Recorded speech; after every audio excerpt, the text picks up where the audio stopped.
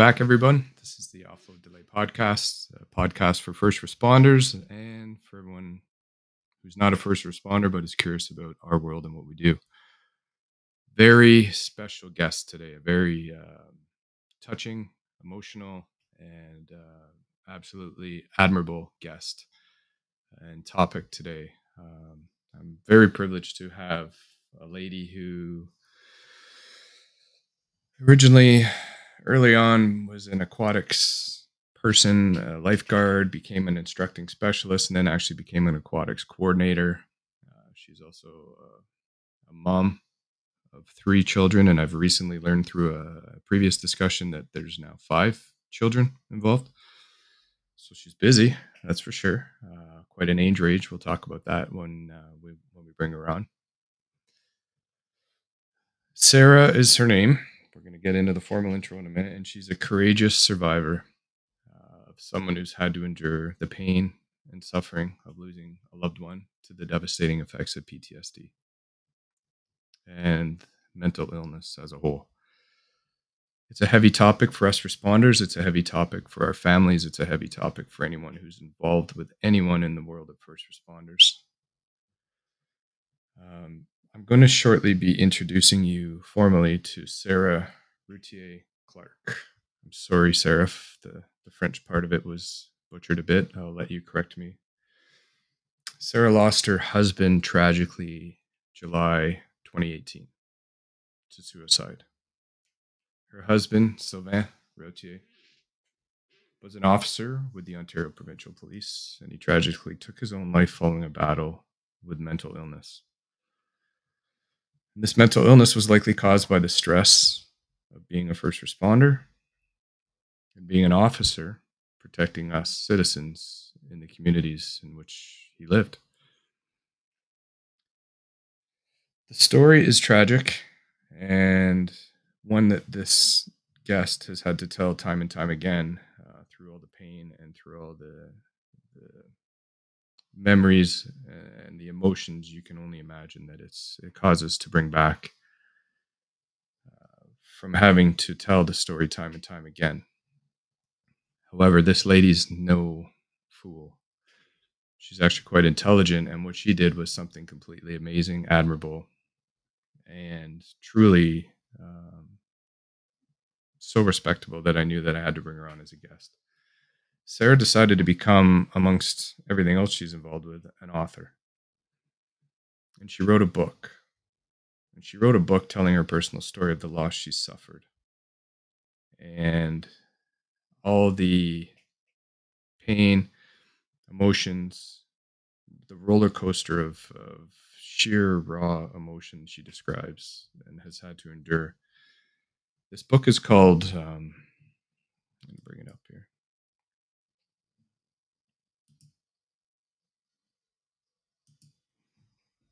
Called Don't Forget Your Roots. And as you can see there, Sarah is the author. It's it's her story. It's her story of losing uh, Sylvain to the effects of mental illness. And it's a book that was written not only for first responders, but for all of us responders who have families, friends, anyone close to us that believe um, there's more to learn about this. I, I fully believe I can't endorse this enough. All responders, all their families, all their immediate friends, anyone close to a first responder, anyone dealing with mental illness in general, uh, regardless of their job or, or their profession, should read this. It's a fantastic read. It was an emotional read. It was a tough read for me. Fortunately, it was a short read um, because me, books, not so good anymore. I kind of tend to just lose my attention span fairly quick, and that was not the issue here. So I'm going to bring Sarah in now. Um, and we're going to discuss a few things, and I want to really thank her and um, introduce her to the rest of you out there. So for now, beside me, Sarah, welcome. Did I butcher your name enough? You, no, you did great. Thank you. Well, thank you so much for coming on. It's a very tough topic. It's a very deep topic, and I know you become such an advocate, and you become such a voice for us responders and the families and friends around us that uh, I thought it was inevitable that I had to get you on this podcast, considering what we deal with on this pod and what our overall premises of the greater good of everybody around us. And I wanted to personally thank you front of everybody for your amazing work. As I said in the intro, we're not going to dig into the details of the book. First and foremost, I think that book has so much information and I couldn't do it justice in this podcast. And I don't think you need to tell your story again. And I think everybody should go buy the book or get the book and read the book so that they figure it out themselves. Congratulations on that. Um, what's life been like as an author? What's changed? Well, thank you, Brad, so much for that introduction and and for having me and for this conversation. It's a conversation that is very difficult and a lot of people aren't willing to talk about. So the fact that you're recognizing uh, how important this is, um, I, I, appreciate that very much. So, so thank you for having me. Um, life as an author uh, is interesting. Uh, I really focused on sort of writing the book and just wanted to get the story out there. Uh, wanted to share what happened to Sylvain so that uh, other people, other families, other first responders could hopefully learn from his story and his passing. And um, really, my my biggest goal, my biggest accomplishment was just having a copy of the book in my hands. I didn't really think through, you know, what would happen next. um, you know, if if people bought it and read it, that was sort of a, a bonus for me. And uh, obviously, that was the purpose was to try and get it out to as many people as I can, uh, in hopes that it would um, help somebody out there recognize, you know, things in themselves that maybe they need to um, to be cautious about, to um, think about preventive measures for their mental health. Um, as a spouse, as a first responder, I found there was um, very little in terms of uh, resources or support or help uh, when Sylvain was struggling. So, you know, um, there was a lot of big things that I wanted to to accomplish with the book and uh, I'm just happy it's done. To be honest, I don't know if I'll ever write another book. yeah, it's it's very admirable that you were able to sit down and focus your emotions, your your energies, and, and be so productive and so concise, if you will. It's uh, it's a very um, quick read, and I think that's encouraging to a lot of people because they know they could, and and it's a quick read because of how well it's written, uh, of how intent intense the content is, how relevant it is. And I know for me personally, we share geographic areas, and a lot of this book took place in my own backyard, in my own neighborhood. And I, I kudos to you. I know you've had some success with it. I've read different things.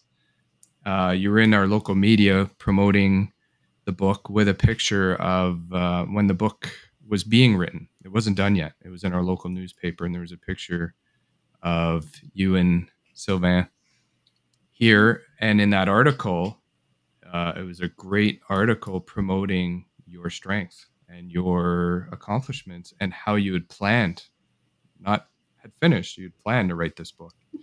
And I'm sure you're glad you're through the trials and tribulations of writing itself uh, and publishing and having um, I've published in the scientific journals in those worlds in my schooling, but never on a on a level of a book like that. So I can only imagine the the administrative and logistical hoops as well that go around with your story.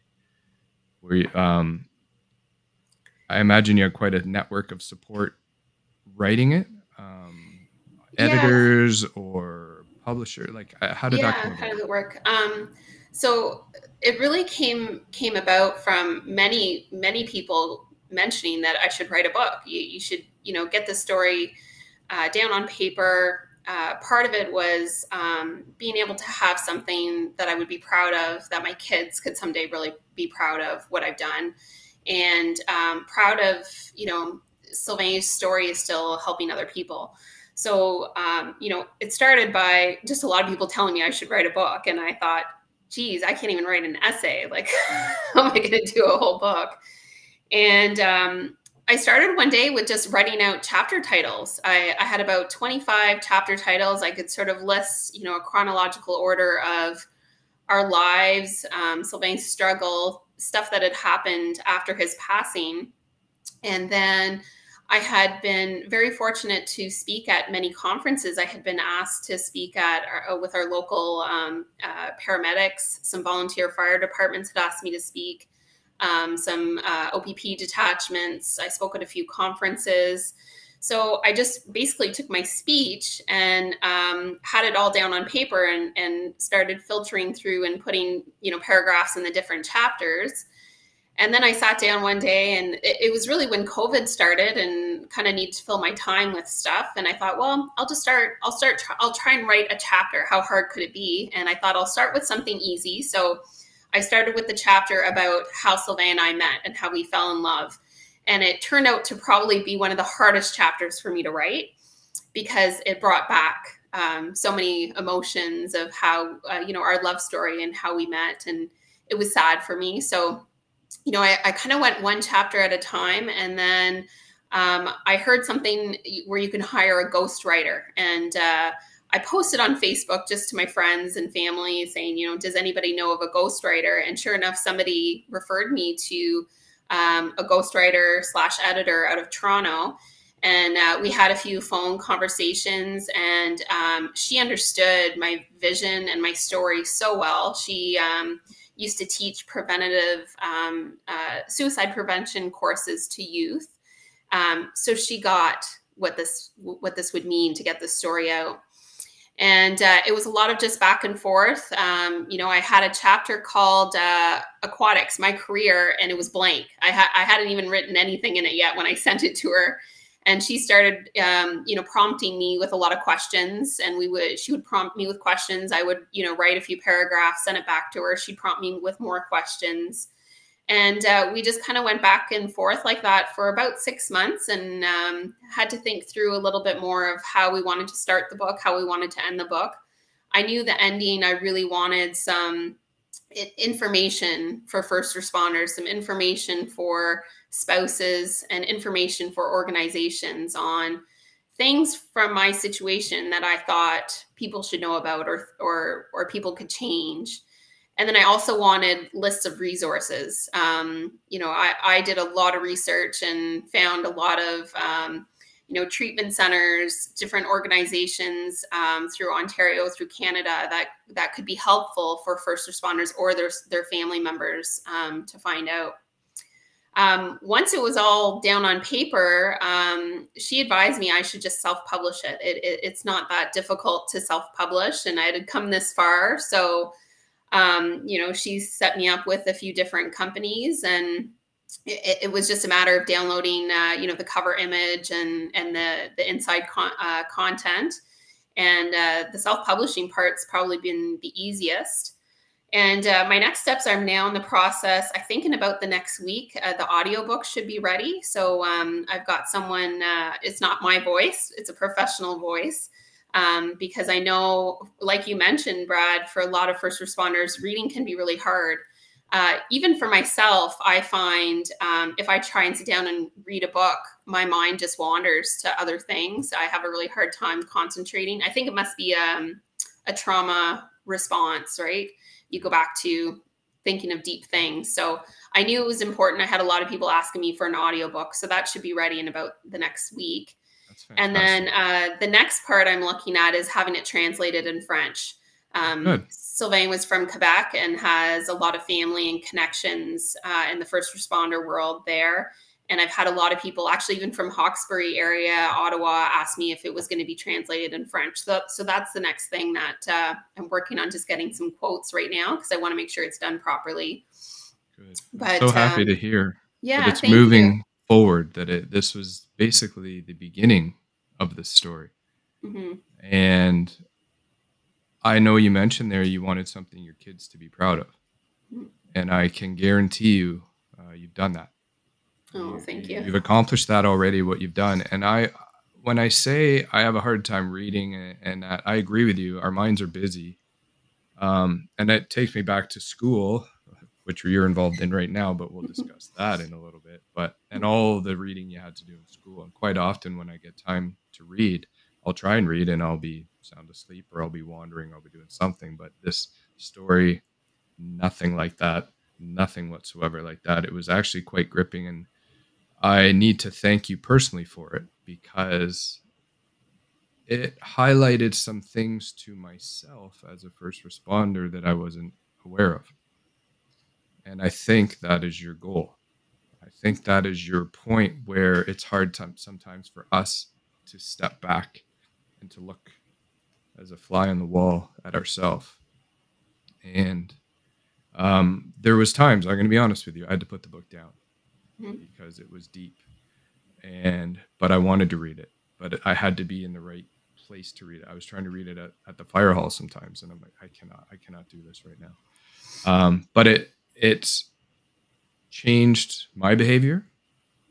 Um, I'm going to openly say to everybody on this podcast that up until that book, I did not seek professional mental therapy of any kind. After 20 plus years of dealing with first response jobs and as a medic and a firefighter, alongside the officers, the corrections, the nurses, the telecommunicator, all of them.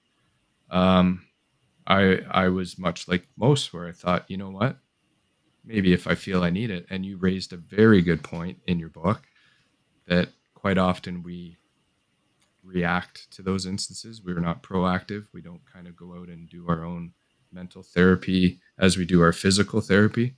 A lot of us in these jobs, policing especially, firefighting, we prefer to be in the gym three, four, or five times a week, working on our physical wellness, trying to do the job, keep fit for the job that way.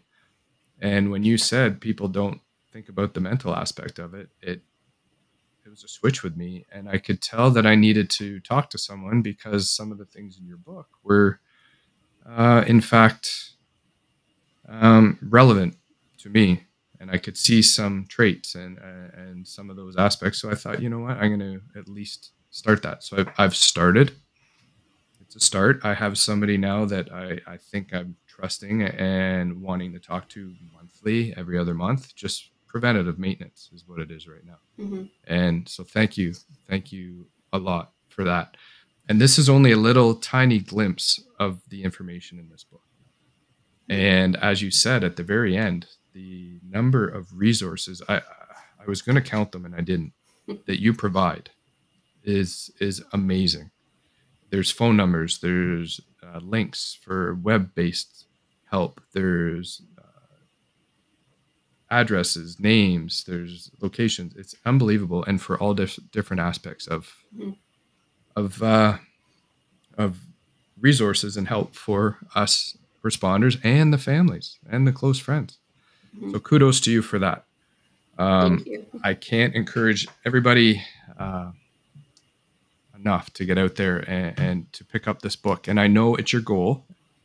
You and I discussed it should be your goal anyway, if it's not, but I think it is.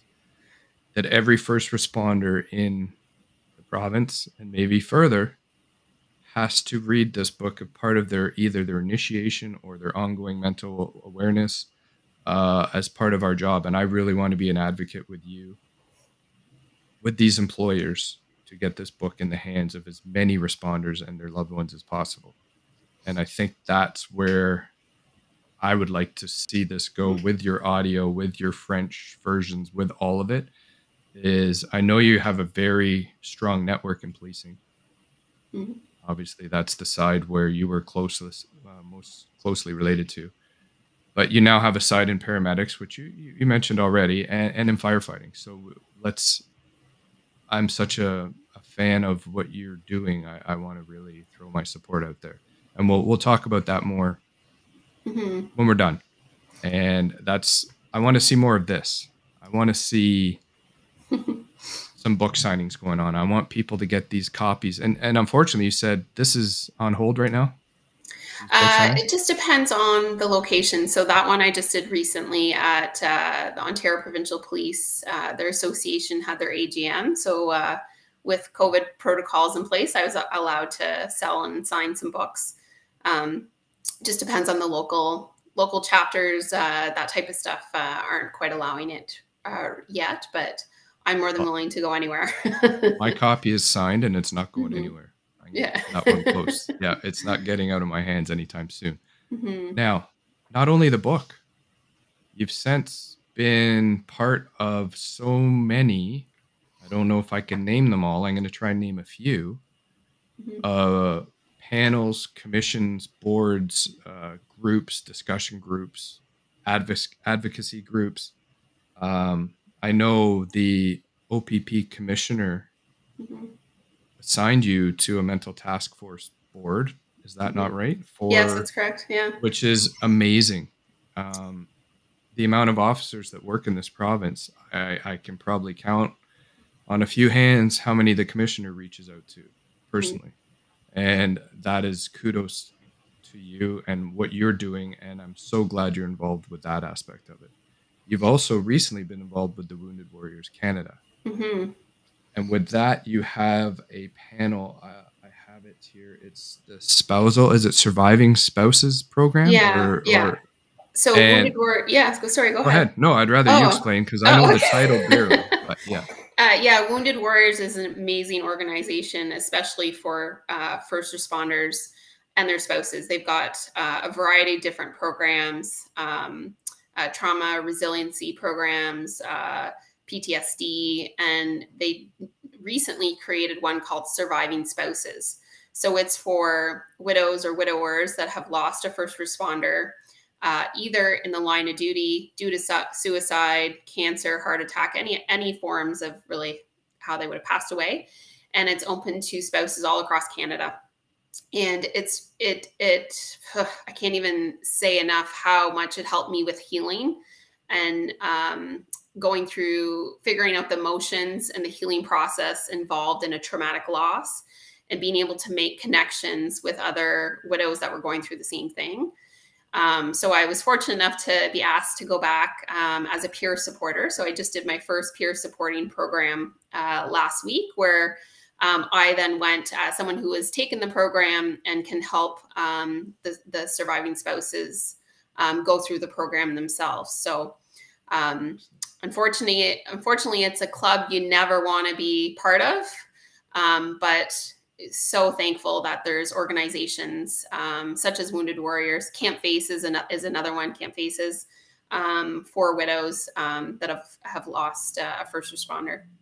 And we we need to be honest that sometimes you need to have some resources in place just in case, just yeah. in the event, and and again some proactive um, promotion here is there's nothing wrong with that. So that mm-hmm. if and when the unfortunate time comes for any of us to need any resource, we know that there are options out there. And I think you're highlighting that um, at an epic level right now. The amount of resources that you personally are bringing forward are the legwork involved for people to find that out on their own would be it would be just all consuming. Well, and it's hard whenever you're trying to support someone that's struggling. So that was the biggest thing was when Sylvain was struggling through his mental illness, I didn't know where to turn to or where I could get some resources or help or support. I tried doing some Google searches on my own, excuse me, um, but only came up with um, options in the US. And I knew, uh, you know, that wouldn't be an option for us. So I didn't know about anything um, as a you know a spouse for 13 years of a police officer why didn't i know about you know different programs and what his association could offer? And so it's just not something that you are proactive in looking for until you need the help. And when you need the help sometimes it's so difficult um, to reach out. Uh, you know sylvain did not want me interfering in his career. He did not want people to know he was struggling so, um, you know, sometimes it's easier if you have it all in the back of a book you can refer to when you do need that information. And, and you know what? It takes so little space, so little room. It's tucked away. It's there, and, and we all appreciate you you doing that for us. Now, I'm going to warn you.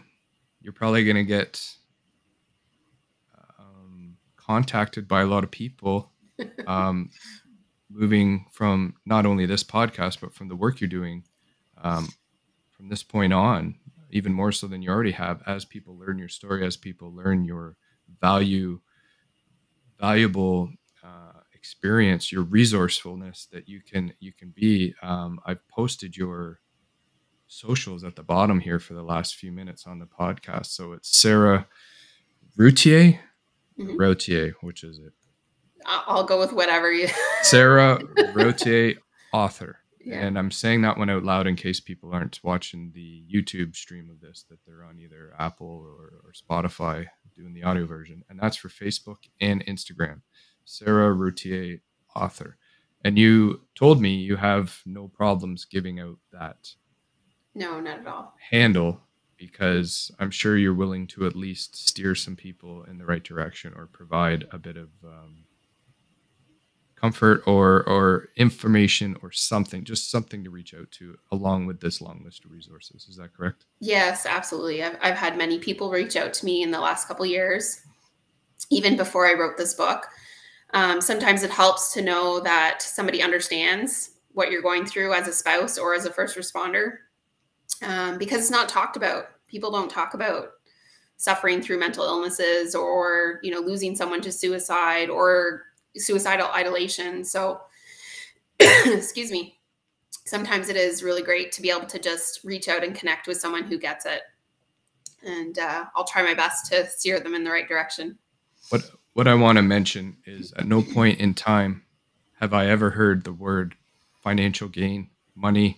You're doing this to to to become rich, and I also need to highlight. Um, I'm often asked if this podcast is money it's it, there's no money involved for me.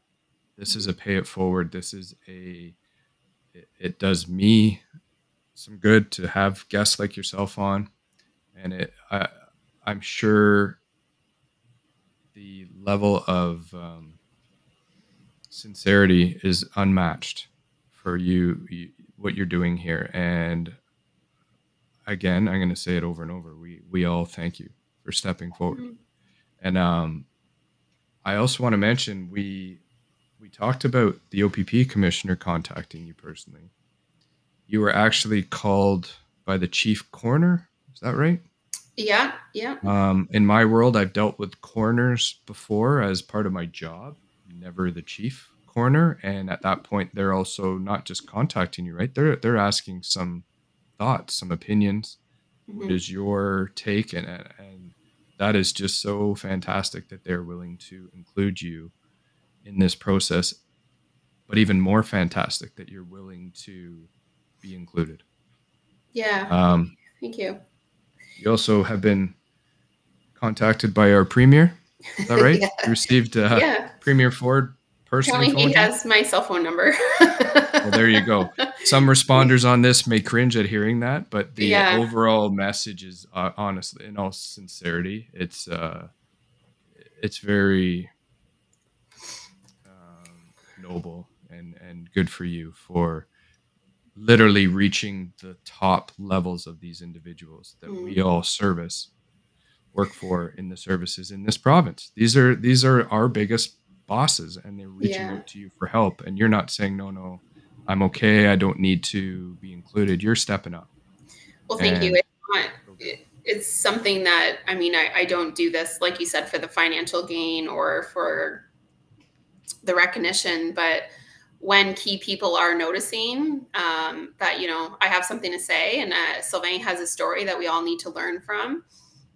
And, you know, they're contacting me or asking me to be part of uh, chief coroner's report on um, police suicides in our province or on the commissioner's uh, healthy workplace board.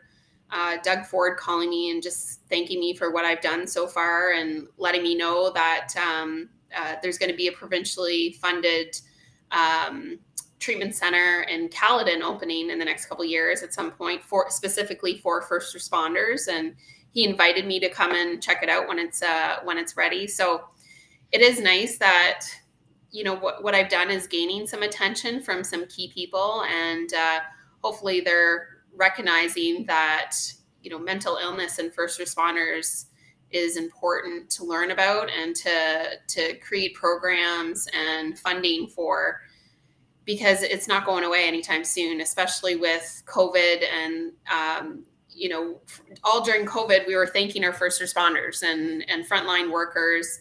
Um, and you know, I'm concerned now that when COVID's over and things start to slow down, those frontline workers, how this is going to affect their mental health, and um, you know, key key things need to be in place and eliminating stigma and making sure that organizations have resources in place for their employees and their members um, is going to be really important in the next little while. I couldn't agree more. I'm I'm living it right now. Um, I'm I'm witnessing some of my very strong colleagues and friends of through the workplace friends crumbling and people that you always thought were the pillars of these corporations of these businesses of these services are showing that we're just human and the cracks are there. And as you say, the pandemic is just pushing those cracks even harder and spreading them. So I I, I commend you for that forethought. Uh, it, it's absolutely true, and we could probably go on all day about just that aspect. And I hope to have you. I'm gonna. I'm not leaving you yet, but I hope we we can have you on again, even with some other guests together, and we'll we'll see where things are at as time progresses with that. Mm-hmm. Now, I'm not going to do you any justice by trying to name all of your accomplishments of recent um, time. Uh, one, though, I want to mention is you're the vice president in the Eastern Region OPP Beyond the Blue, mm-hmm. and again, I don't know how you how you manage to incorporate yourself into all of these panels and boards and that, but I am so glad that you do because you are also a voice for all of us.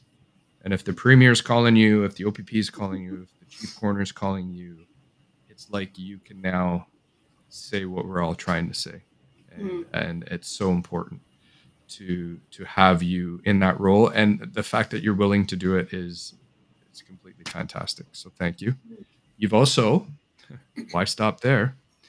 I'm going to this image is a little bit tough to read, but it's the Sylvain Routhier Memorial Foundation that you've created. Mm. Right? And this is a memorial foundation that you are providing there's I've, I read in there there was some some grants available some funding available some resources yes. available so did you want to just kind of touch on this foundation in memory of Sylvain? yeah yeah for sure uh, the foundation started just uh, locally here in belleville uh, quite a few police officer friends of Sylvain's wanted to do a fundraising event to raise money for myself and um, other family members that had lost an OPP officer to suicide. And we did a golf tournament uh, shortly after Sylvain passed away, and it was such a huge success. Everybody asked, you know, can we make this an annual thing? And I said, sure, let's do it. I want to be a part of it, but um, maybe we can put the money towards something bigger that can help a lot of people. So uh, with with a lot of help, we incorporated uh, the Sylvain Routhier Memorial Foundation, and now we do an annual golf tournament, an annual hockey tournament, and some other smaller fundraisers. And uh, we hand out some local uh, scholarships. So we have four local um, high school scholarships right now, and we have um, a scholarship at Loyalist College. Uh, and we also help donate funds to different organizations uh, that will help first responders get help that might not be covered by the workplaces. Um, so, one, for instance, that we've donated to is Project Trauma Support. And um, it's not a, uh, the funding can be very difficult to get to treatment, specific treatment centers, especially for first responders. So, you know, it's, um, it's another part of this legacy that I, you know, I mentioned earlier about um, I'd like my kids to be able to hand out the scholarships at graduation ceremony someday and and make them feel like their dad is really helping people. Excellent. And you know what? Kudos to you. And I, that's how you and I formally met. That's right. was at the golf tournament. I was invited to join with our local first responders, and I knew your story vaguely. Definitely not to the level I've come to learn it. And I remember from being in the area of you worked out a pool that uh, we were required to certify at for my job and so we've had encounters over the years and certain contacts but mm-hmm. that network of friends and colleagues resources that you're creating with that foundation is phenomenal. Because it you. goes far beyond the dollar value even just being able to have a discussion like this and for me to now be seeking my own mental therapy route all became honestly from that golf that golf tournament. Mhm. that's what's come of that. So amazing work. I i hope people can can look that up and can join us. I i've been in touch with our network powers that be if you will. This is on the deanblundell.com network and him and i have discussed about having him and some of his more name-worthy uh, friends join in the tournament and to try Oh, and get some even perhaps next year we'll do the podcast from the tournament. Oh, cool. live. That'd be great. something like Yeah. that. I want to golf but i mean we can also my golf game doesn't need to take that long. We've seen it. It, it doesn't need that much attention. But i think this is where we can kind of help roll even more Mm-hmm. and uh, if you're willing we're willing and i think that's where we want to go with it definitely um, the the other part that I can see the foundation helping out in the future. I've had a few other widows actually contact me, um, uh, both from the OPP and uh, want to do fundraising events and be able to hand out scholarships in their spouse's name. So we're going to help um,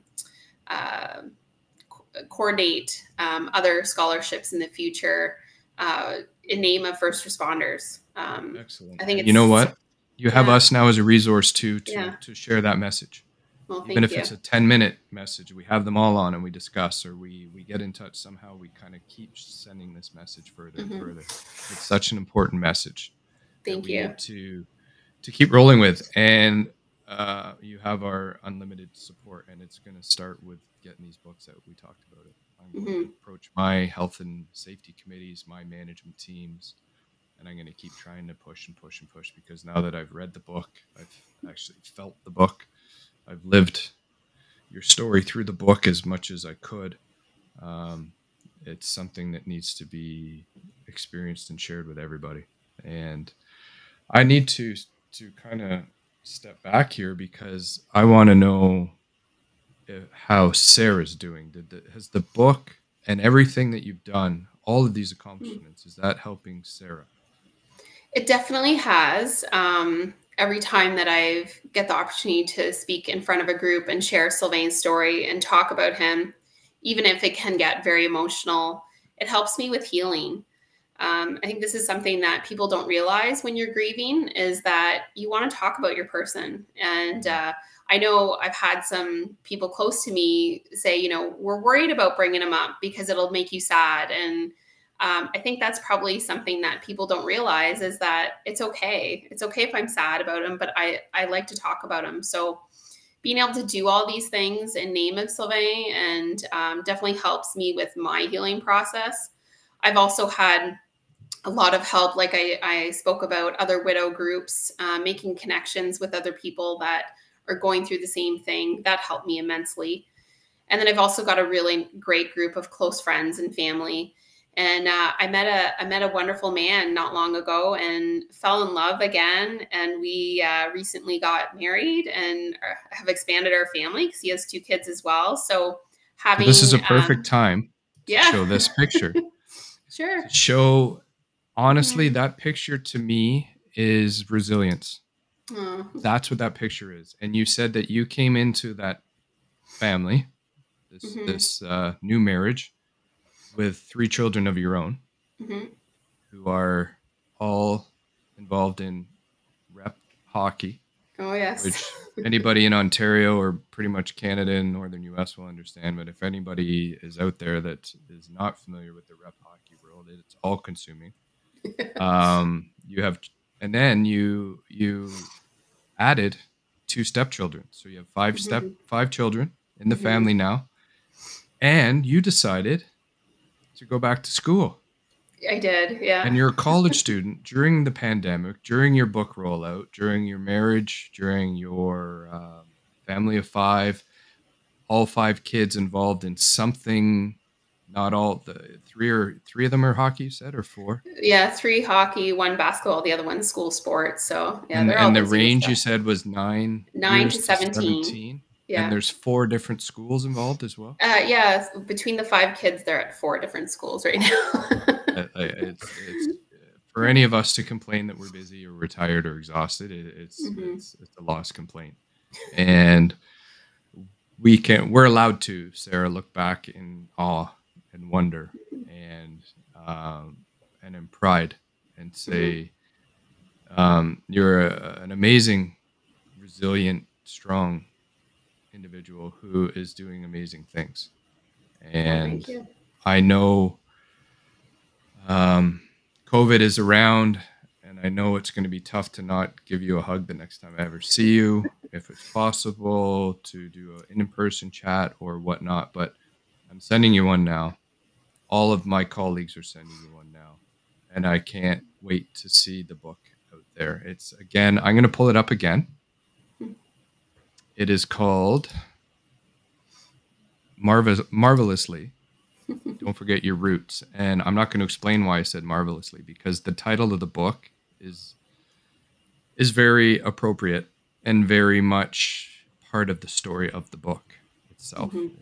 It, it's the message is in there and i was kind of amazed at that where where can people find it where can I Uh, get so the book yeah, it's available on Amazon as well as Indigo or in our local chapters here in Belleville. so is indigo online They Indigo is online? an online chapter store, basically. and, and this would be the local chapters. Yeah. You in front of it must have been a surreal feeling to see It- your it name was because, and your uh, story. they on the don't just. Yeah they don't just automatically put books on the shelves you have to uh, get a you have to go through an approval process and i had to meet with the manager and she had to read it and um, you know decide if it was appropriate and if they think they would sell them or not so and we have some just fantastic news Yeah. for December. yeah they just I don't me, know that. Okay, I was going to say I don't know if you can share it. i think i can yeah Uh, can. I hope you do. Yeah, so the local chapters here is going to be um, endorsing me as their December author of the month. Um, so I, you know, I recorded a small video taping yesterday, and they'll um, they're basically going to advertise the book for me, and uh, which is really great because uh, I think, uh, like you said, it, it needs to be out to everybody. Honestly, um, congratulations with that. I know that wasn't your goal, but you are definitely seeing the steam, the momentum that's building with the with the Mhm. need for what you're Yeah. doing. Mhm. Um, I know this is a heavy it's a heavy topic for all of us, and I think that you have brought your story and your resourcefulness forward very, very well. And I was honestly a little anxious about this podcast because it's a very fine line of appropriateness, of relevance, of of just not needing to retell the story in the book, but your story, your story, is amazing and it needs to be told. And I, I think we accomplished that to some extent today. I think we For did sure. Yeah. and I'm I'm super grateful. Now, I'm going to switch gears one last time.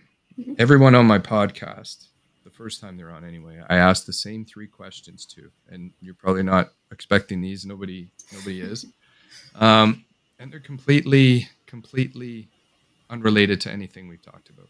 It's just to let us to get to know the guest and who they are. Mhm. Um, the one thing this podcast tries to do. It's called offload delay. And in our world of paramedics, I don't know if you're aware, we spend a lot of our time waiting to d- offload our patients in the emergency Mhm. department. And at that time, we're with the officers, right? We're with the Mhm. police officers, we're with the firefighters, we're with the corrections people, we're with the families. And that's kind of our hockey room, dressing room chat, like the real world chat. So I named it that to be kind of a fly on the wall in that world. Hmm there's a second part of it that's about delaying our offload offloading our mental baggage. It's kind of a more serious side of it. But the fly on the wall thing was just to give us responders a voice and to kind of just say it the way it is. So that being said if you could be a fly on a wall in anyone's world in any person's setting in uh, are you able to say who you may really want that insight with or That's really tricky question. Um, yeah, that's tough. The Okay, only okay. uh, Yeah. the only thing that comes to mind and uh, it's a tough one. Is um, I would love to be a fly on the wall in the WSIB case managers room because I'm sure you get this as well, but uh, I'm still fighting uh, Sylvain's WSIB case. Uh, for three and a half years now, they've been trying to tell me that his death was not work related. And I keep appealing it uh, with the help of uh, a really great lawyer. And I think it's just awful what they do to a lot of first responders that finally do get the courage to get some help and take time off and then aren't getting the benefits they deserve or the you know the financial um, help um, i'm just floored by the amount of people that have told me um, the problems that they're still encountering. So i think this is still another huge area where a lot of change has to happen. So uh, thank, you. Thank you that's for the first that thing answer. that came to mind. Honestly and i think you're not i know you're not alone with that. Hmm we're often not only the responder world, but that's the one we know. We're we're dumbfounded by what we have to kind of justify as needing insurance, as needing Mhm. the compensation for something that we've paid into for so long. hmm And it's always a denial, it seems. hmm You you're immediately denied and then you have to prove otherwise. yeah I think that's a great answer. So the next one, this will be interesting because most of my guests are responders themselves hmm you have kids and you have i need to know or i want to know the smelliest place you've ever been yeah So that's not that hard for me because Okay. I would consider myself a first responder for 20 years of lifeguarding. of course It's of course very similar, right? We respond to emergencies around the aquatic environment where par- paramedics won't go in the water or firemen Right. won't go in the water and get people. right So I would definitely say uh, pool change rooms. It's the moist damp oh, yeah. Yeah. humid change rooms and I, I okay good good answer and i didn't mean to insult your Oh, no, your, not at your all. experience at all. um and and i know we didn't bring it up but it's actually still in the back of your mind is it not that an aquatics coordinator is still a very desirable position that you are thinking one Yeah. day maybe you never know but at least the drive is you have the drive still you said Yeah, for sure. It's hard when you do a career for 20 years and then, you know, my life got flipped upside down when Sylvain passed away and had to reevaluate what my priorities were. And at the time when he passed away, I went back to work for a little bit and realized um, it just didn't gel with my personal life and being able to make my kids my priority right now. And uh, as we were sharing the other day, my my old job came up again, and of course, you know, there's something in the pit of my stomach just wanting to do it again because I, I loved what I did and I thought I would be in that job until I retired. Um, For everyone everyone listening out there Yeah. in our area between phone calls with sarah and i her previous job of long time long standing came up as a permanent post Mhm. and her and uh, Sarah and I joked about, you know what, how ironic that as we're talking and you're you're mentioning your your love for aquatics, that this has come up. But you also mentioned it's a chapter of your life, right? And it's kind of sometimes those chapters are done, and sometimes it's a new chapter that Yeah. takes over for, the sure. old one. So uh, I I can appreciate though the rank smells that can come from it's funny though because so far all of my guests, the worst smell generally stems from humans of some sort. yeah, probably. It's people are just absolutely probably of everything out there. We think animals or chemicals, but humans Mhm. are definitely top of that list. Now, the last one's really really easy. The third question I ask everybody is: You're allowed one food the rest of your life. You can only eat one thing. What's it going to be? Doesn't Ice matter I- what kind though. Any kind. Chocolate, any kind. Yeah, chocolate's definitely my favorite. Very good. That's an easy one. You didn't even hesitate. Oh, not at all. Excellent. I um, I wish I could send you some right now. I, I wish I could um, thank you in person, but it's it's it's time to to let you go for now, and to thank you again. Mhm. Uh, you've been an amazing guest. You're an amazing person. You're super, super strong, resilient, and your energy is questionable. I don't know where you get it uh, to to do what you're doing, but you're obviously driven. You have a Mhm. drive in you, and you've been ignited. And we're here for you to support that and take it as far as we can. Well, thank you so much for having me, Brad, and You're for welcome. all your support because uh, it's great. It's great to put out a story and put out your book and share all your personal stuff. But then it can be nerve wracking not knowing what the reception is going to be. So thank you for your support and recognizing what this book could do for people. You've, uh, it's not only the book; it's what you you personally have done and continue to do. And um, if you need anything, we're here. And thank you isn't enough, but I'm going to thank you. Thank and you. I look forward to talking to you soon. Maybe we'll get you on with somebody, another guest, another person in one of your panels, committees. Maybe you got the premier on here. Maybe I, I don't know what powers you have. They seem limitless, so I'll just roll with that. Um, I'm gonna I'm gonna let you go now. It's been a great talk. Really good. Thank you. I know it's going to spread a message, a very important message, a long way. And we're going to be in touch soon. And keep your chin up. You're doing amazing work. Thank you so much. Okay, we'll chat soon. Bye bye. Okay, bye.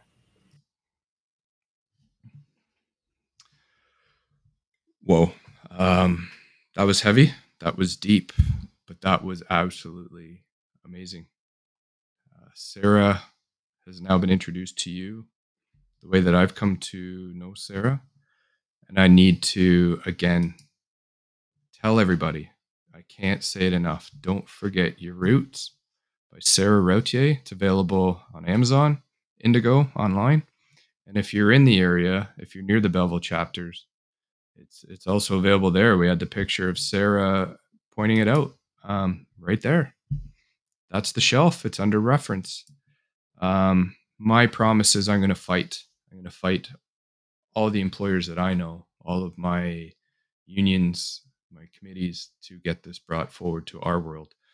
Um, Sarah's relation was most close to the policing world, but we're all responders, and I think we're gonna we're gonna roll with this. And I hope anybody out there who's needing to reach out to somebody doesn't hesitate to reach out to any of the resources that we mentioned.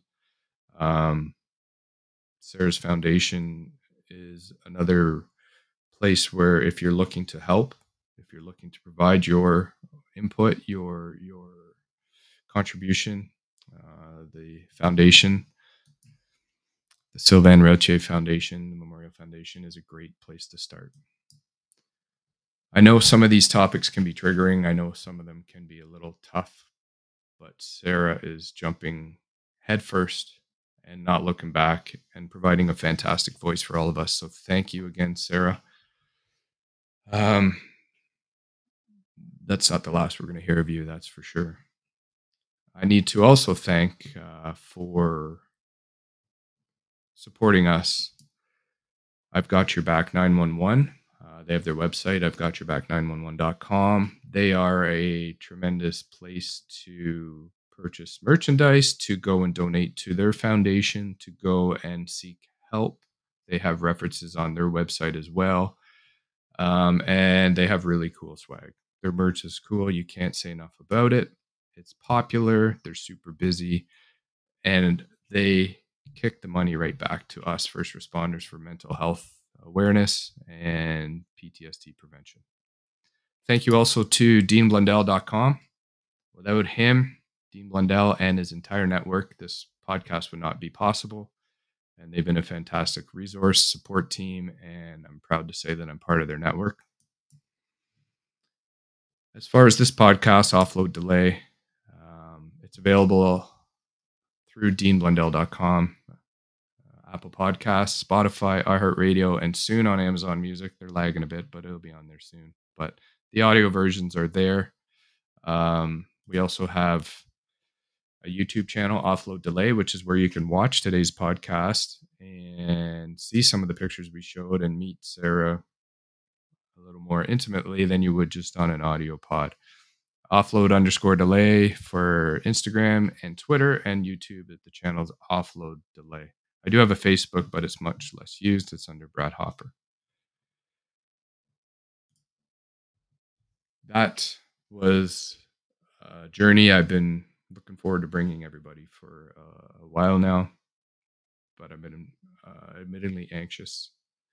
Thank you, Sarah, for bringing your story, for helping us. And honestly, me personally, you've already started my journey towards looking a little more deeply into my own mental well being. So thank you for that. Till next time, stay safe. Um, look out for each other.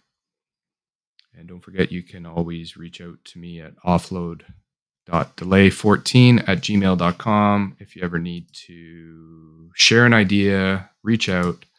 If you want to suggest someone that we should have on, someone you want to introduce, any of that, you can definitely find me at that email. And that's it for now. I hope uh, you stay safe. And thank you again, Sarah. It's not enough, we'll chat soon.